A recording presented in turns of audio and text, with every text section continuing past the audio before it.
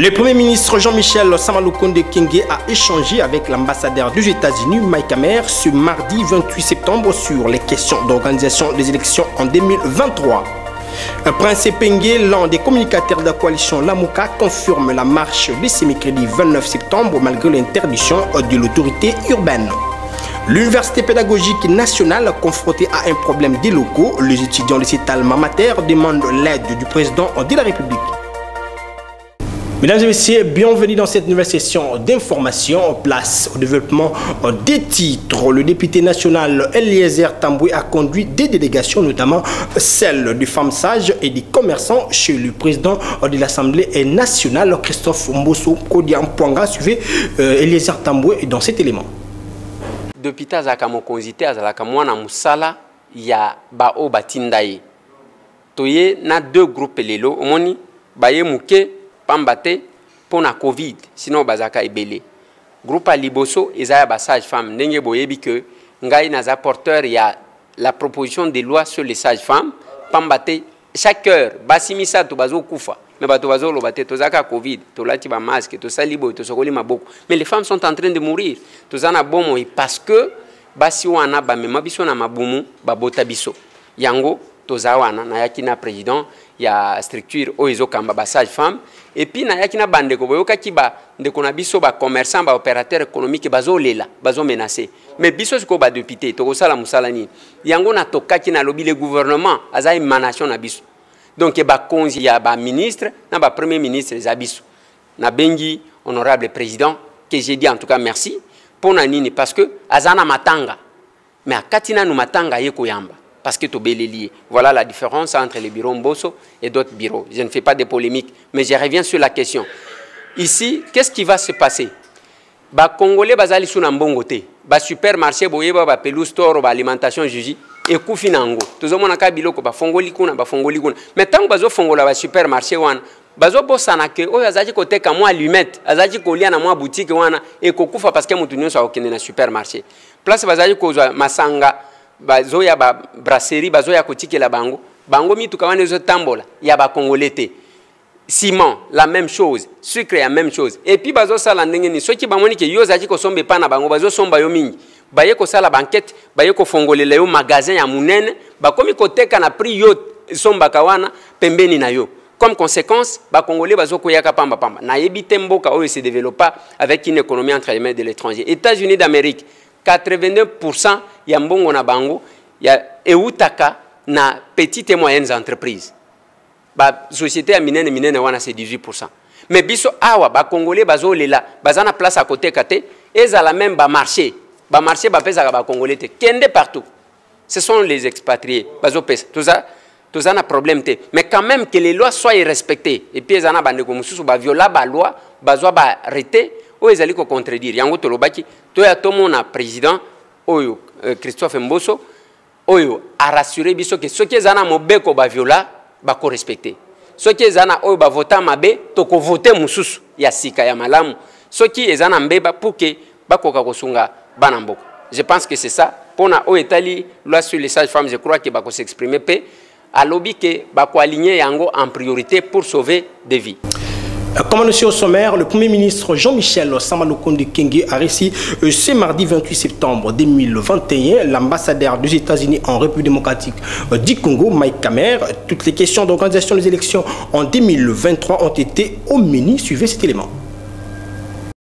Oui, bon, c'est toujours bon d'avoir l'occasion de discuter avec le Premier ministre les, euh, sujets ponctuels en RDC. On a discuté la préparation que le gouvernement est en train de faire pour commencer à préparer de bonnes élections en 2023. Aussi, on a parlé de la priorité très importante pour la préparation de la COP26, une réunion, un sommet très important de l'environnement. Comme vous savez, que les États-Unis est bien impliqué dans notre partenariat privilégié pour faire avancer la paix et la prospérité, mais aussi la préservation de l'environnement. Et on a discuté comment euh, la, communauté internationale, les États-Unis euh, spécifiquement, peut soutenir les efforts de la RDC de protéger le bassin du Congo, que c'est le deuxième euh, poumon du monde, pour bénéficier la communauté congolaise, le pays, mais aussi le monde. Et aussi, on a discuté en général l'importance de la liberté de presse. Merci pour votre travail. Euh, la préoccupation de, de temps en temps de, de le problème qu'il y a euh, qui euh, menace la presse et pour euh, faire avancer la démocratie en RDC. Les États-Unis est un allié qui voudrait toujours essayer de, de faire avancer la paix euh, à l'est du pays. On a aussi discuté la situation sécuritaire, euh, l'état de siège, euh, les, progrès que le gouvernement est en train de faire euh, pour mettre fin à cette violence que, que c'est vraiment terrible pour la population de l'est du pays. Oui, non, c'est des bonnes questions, les deux. principalement avec la situation en préparation de la COP26, c'est une question de comprendre et, et savoir quel est le plan de le gouvernement congolais et quelles sont les, choses, les, besoins que la communauté internationale peut soutenir.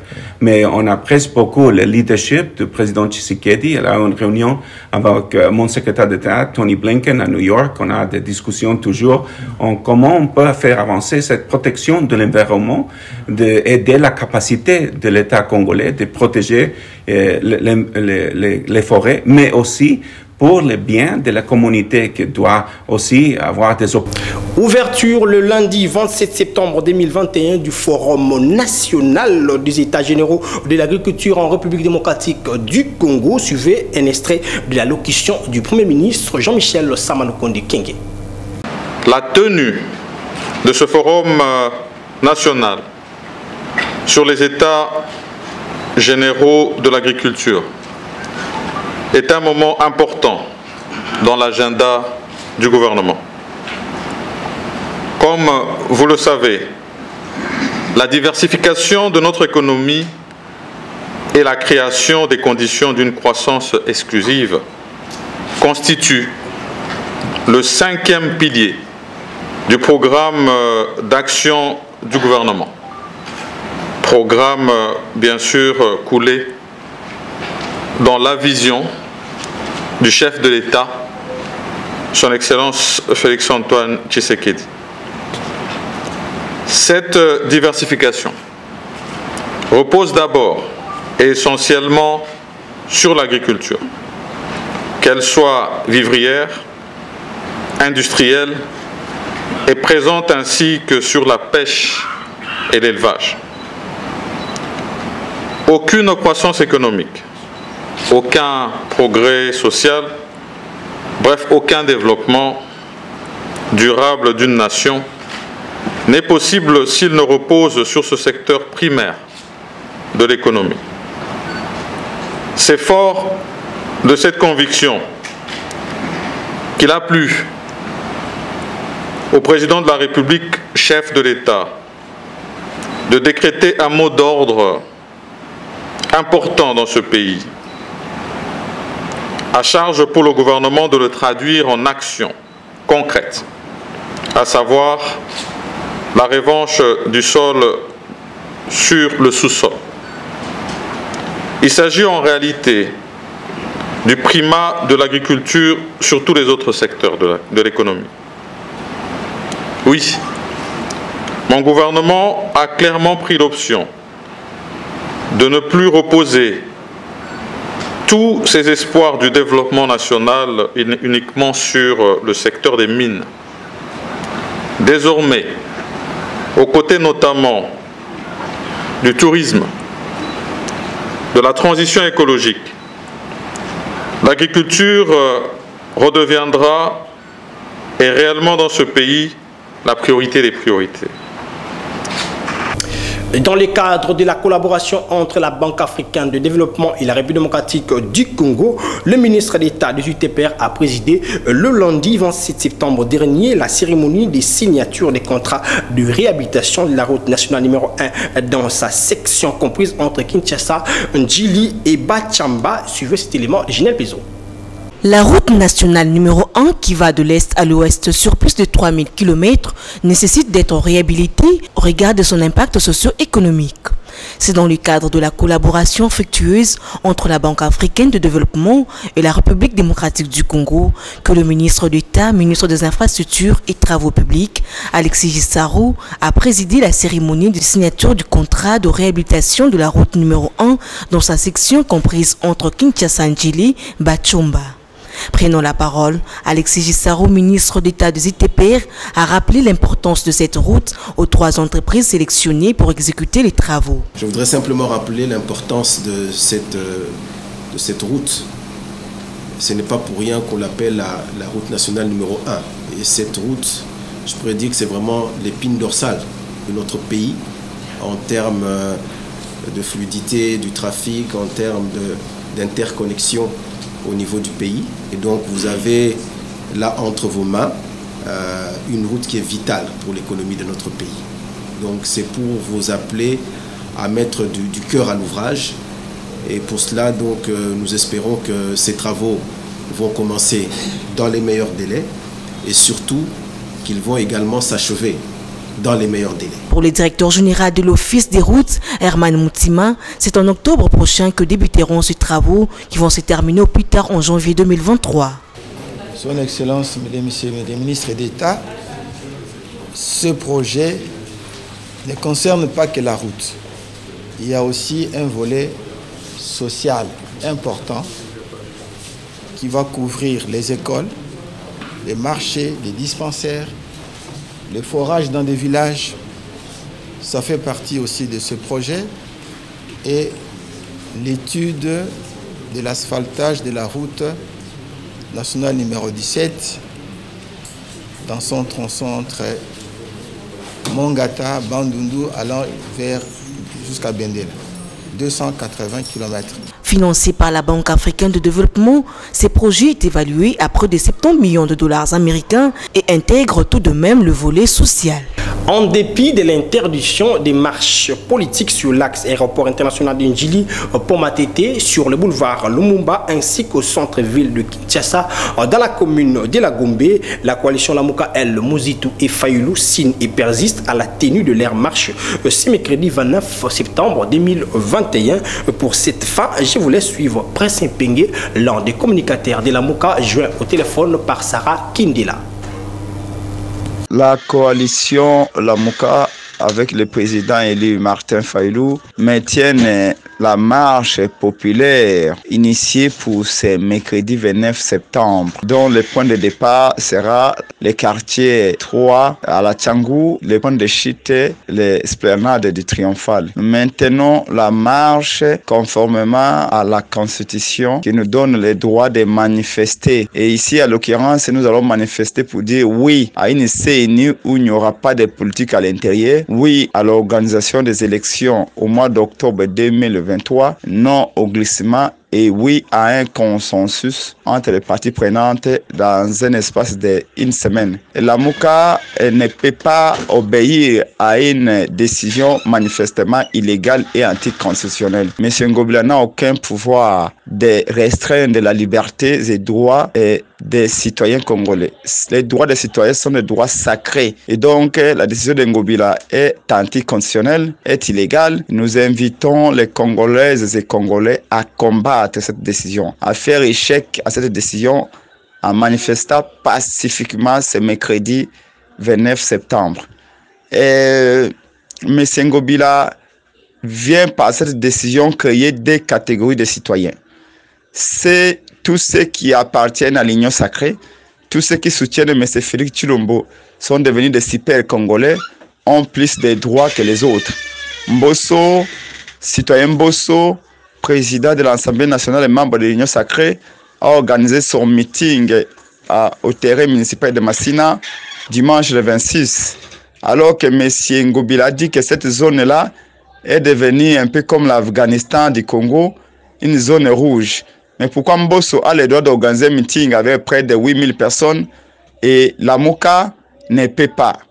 Mais c'est Francis Tubalabala, de l'IDP, député provincial, organisé le samedi 25 une manifestation dans la même zone dite rouge. Ngobila n'a pas interdit, au contraire, il a envoyé la police pour encadrer la marche de Tibalabala, pour encadrer les meetings de Mbosso. Mais quand la MOUCA projette sa marche pour le 29, Gobila dit non, vous êtes des sous-citoyens, vous n'êtes pas des citoyens, et donc vous ne pouvez pas jouer des mêmes droits que les membres de l'Union sacrée. Euh, parlons province à présent, en Ituri, les forces armées de la République démocratique du Congo sont au contrôle du territoire des Commandants et ses environs. Euh, les forces loyalistes ont aussi neutralisé 8 miliciens FPI sur l'axe Commanda Luna ainsi que 11 autres ont été capturés lors des opérations à Kamanda. Suivez cet élément Naomi Katako pour avoir plus de précisions.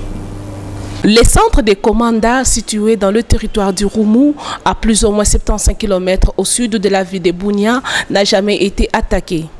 De même, ces environs, à l'instar de Makayanga, localité située à 5 km des Comandas sur la route nationale 27, la situation demeure, mais également maîtrisée par l'armée régulière après une tentative d'attaque de miliciens FPIC étouffés dans l'œuf en début de l'après-midi du dimanche 26 septembre dernier. Le lieutenant-général Boyan Kachamadjoni, gouverneur militaire et commandant des opérations militaires en Ituri, précise. La situation euh, à Commanda est calme nonobstant tous ces gens-là qui veulent, n'est-ce pas, euh, créer une psychose. Nous avions vendredi effectivement été attaqués par euh, ce que nous pouvons appeler une coalition, parce qu'il y avait les Chinyakilima et les ADEF. Et euh, leur but, c'était de s'attaquer de s'attaquer aux véhicules qui étaient placés dans la cité de commande. Il y avait plus de 150 camions et autres voitures, donc dans plus de 300 véhicules. Ils ont attaqué et ils ont été repoussés. Et donc le samedi matin, les activités ont repris et nous avons escorté ces véhicules jusqu'à Luna. Et ces véhicules sont rentrés hier. La journée d'hier vers 14h, à 5 km à Makayanga, de Commanda Centre, il y a eu les mêmes Chinyakilima qui sont passés dans leur propre village ils sont allés s'attaquer à la population, brûler, incendier des maisons et incendier deux véhicules là-bas. Ce qui est vraiment inacceptable. Nos forces armées sont intervenues et ont neutralisé, ont chassé. D'autres aussi sont capturés de, Makayanga tous ces, ces, ces bandits-là. D'où la population de l'Itourie est appelée à faire confiance aux forces armées et aux autorités établies dans la province. Revenons à Kinshasa où les forces de l'ordre ont mis la main sur un malfrat qui, selon le témoignage, l'incriminé a voulu perturber la matinée politique du CRD, parti cher au président de l'Assemblée nationale, Christophe Mbosso-Kodia, tenu le dimanche 26 septembre dernier au stade municipal de Massina. Suivez cet élément de nos stagiaires de. Lors du meeting organisé par le parti de Christophe Mbosso-Kodia le dimanche 26 septembre 2021 à Massina, les forces de l'ordre de cette municipalité ont mis la main sur l'un des malfrats, autrement appelé Koluna, qui était venu en groupe pour troubler les manifestants, tels qu'ont révélé quelques responsables de société de la commune de Nchili.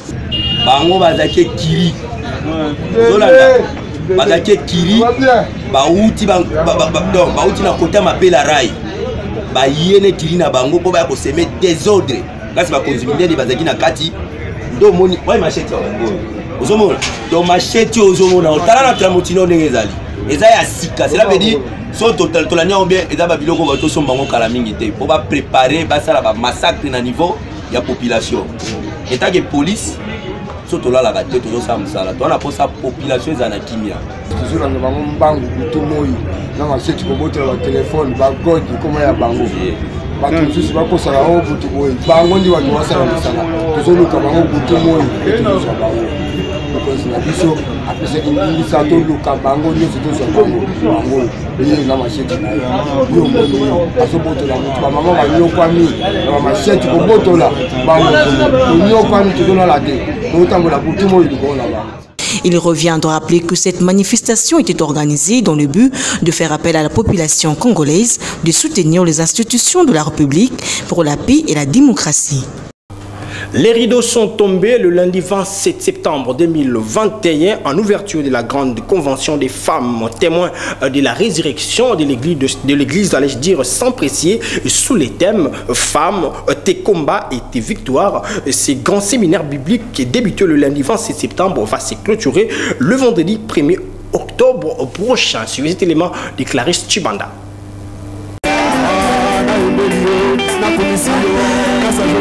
Le moment tant attendu est enfin arrivé, venu du quatre coins de la capitale congolaise, toutes réunies autour de femmes témoins de la résurrection, vont pendant cinq jours, soit du lundi 27 septembre au vendredi 1er octobre, prendre part à ces grands séminaires placés sous le thème Femmes, tes combats et tes victoires. De moments glorieux qui vont, une fois de plus, permettre aux enfants des dieux de vivre le merveille de l'éternel. Pour ce premier jour, la toute première oratrice, la révérende pasteur Annie Kondo Akondo a puisé sa prédication dans le livre de Genèse 1, 27 à 28 et Genèse D, 18 et 24 pour parler sur le combat de la femme qui sont entre autres remplir le vide de l'homme, se faire accepter, être considéré, être écouté, se faire pardonner, se faire respecter. L'histoire du jardin d'Éden qui persiste jusqu'à ce jour alors que le problème a été déjà réglé par Jésus-Christ à la croix. Que ce soit dans la société, elle doit être là, combattre pour qu'elle soit acceptée. Elle peut venir avec un diplôme rempli, qu'elle a distingué quelque part. Ou alors, à un pourcentage belé. Qui doit t'accepter avec toutes tes compétences? Nani yango akondima yo ete tu peux remplir un vide? Nani yango akopesa yo espace mpo ete yo okoka koremplir vide? Na kati ya komba yango ya mwasi oyo azoya comme étant une aide parce que en réalité elle va aider dans la famille elle doit aider dans la société mais elle doit aussi aider dans l'église. Komba mosusu ya kati ya le combat de la considération. Nanotanga yango te Romains au chapitre 5, le verset 12.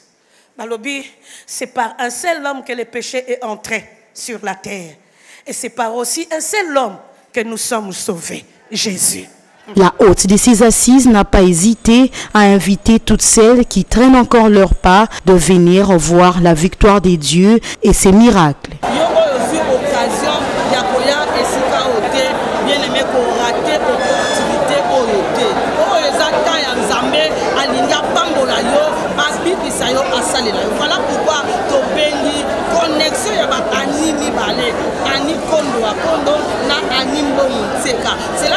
Nzambe alinga éclater de grandes choses hein, dans ta vie. Kolandisa bible elobi nous sommes son ouvrage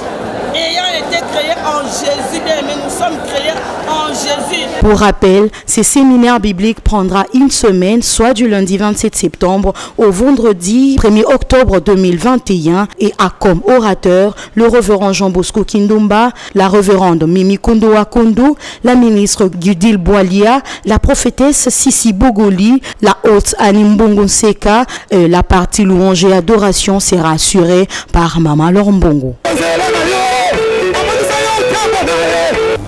La multiplicité des églises de réveil de la ville de province de Kinshasa prend des allures de plus en plus inquiétantes et c'est au vu de tout le monde quant à ces suivez les constats effectués par nos stagiaires de l'UPEN dans la commune de Makala. Suivez. Ces phénomènes de prolifération des églises de réveil dans la ville-province de Kinshasa inquiètent au plus haut niveau la population. Nous sommes sur l'avenue Kanyoka, dans la commune de Makala, où l'on retrouve cette église qui a presque un même programme de prière. Intéressé, un des pasteurs dit être surpassé de cette situation et rejette la faute à l'État congolais de n'avoir pas bien réglementé les choses. Pour le problème avenir, bah, l'église est belle.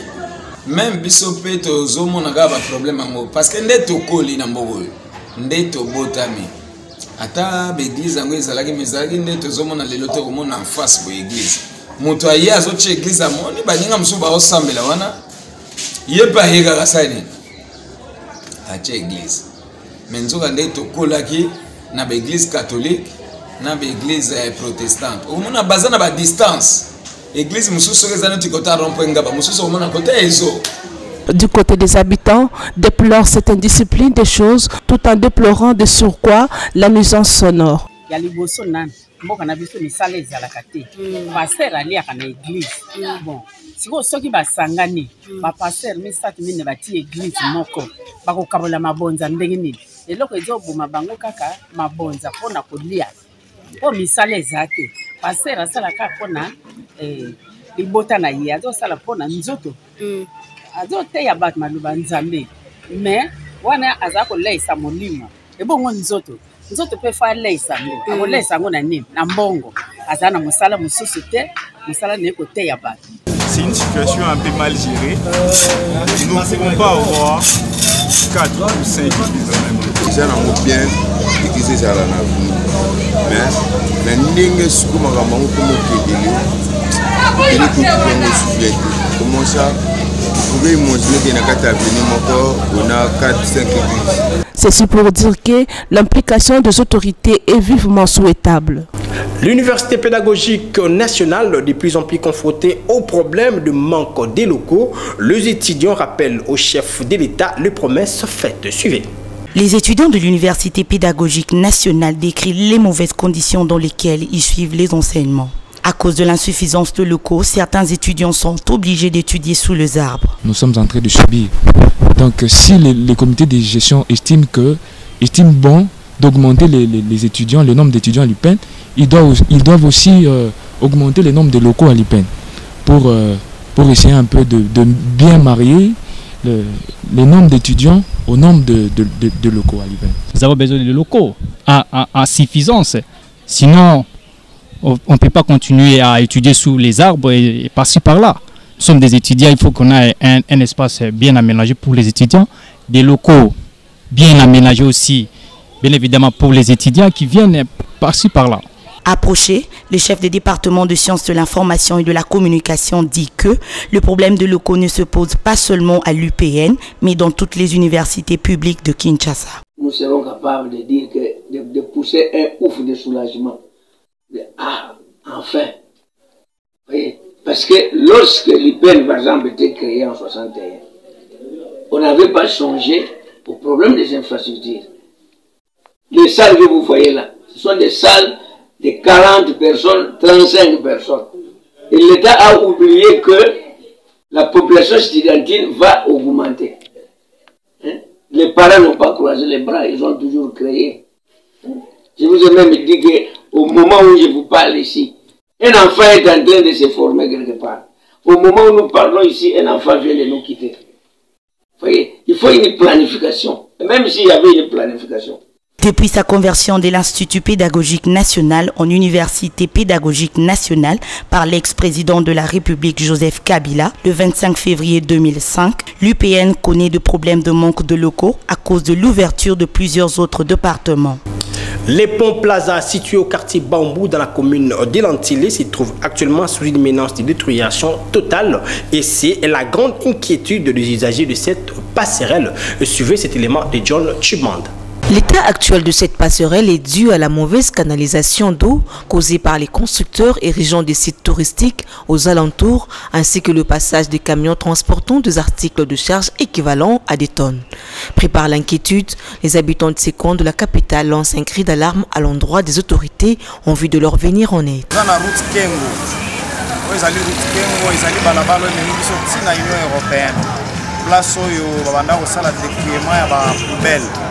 Na bato ya union européenne. Balabala oyo bato bamenageaki yango eza bato ya union européenne mpona misala na bango. Me toza na pont moko oyo erelie biso entre euh, parti oyo babengaka kota simon plaza na kokende ti kokóma kote ya site wana ya euh, union européenne. Alors pont oyo ezwa problème ya nzela 3 ans et demi. Bourgmestre na biso mpe ya komine ya selemama toyambi yo boboto boyei no ya sika na komine omeka mpe koede bana na yo na komine ya sele précisement na pont plaza tosenga aide na bakonzi na biso. Bakela biso vraimen mawa na pa oyo ndenge ekomi ntango union européen ezalaki makambo nyonso ezalaki te lelo biso bamonteur bachauffeur so bamosala baaksida dernièrement awa masa na biso atokota ntina kati awa tokesekive totikino hôpital akufi alors point oyo ezalaki boye te bakonzi bazozwa solution. Aux autorités de trouver des solutions idoines avant que le pire n'arrive. Les usagers de l'avenue Montbelé saluent la reprise des travaux de construction de leurs voies interrompus depuis une période relativement longue. Ces derniers appellent ainsi les autorités de mettre toutes les batteries en marche pour l'achèvement de ces travaux. Suivez ces reportages de nos stagiaires. Ces travaux de réhabilitation sur l'avenue Montbelé avancent très rapidement et cela va à la satisfaction de la population. Makadam ndenge ezala makadam esukelaka nango place omoni wana kuna nzela ezokontinue évolution ya nzela ezosalama nango po nzela ezala eboyi te ezokontinue mosala esalama nango nano basisi kosala mosala bakontinue mosala na bango otalaka mosala babosala Trouvé en plein travail, l'un des travailleurs revient sur quelques difficultés rencontrées.